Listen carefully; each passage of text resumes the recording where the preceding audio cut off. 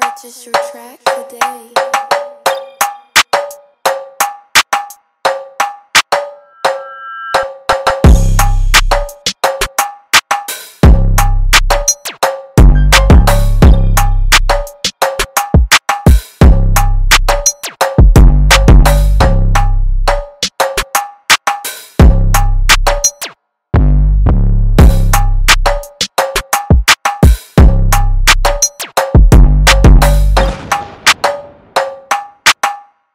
just retract the day.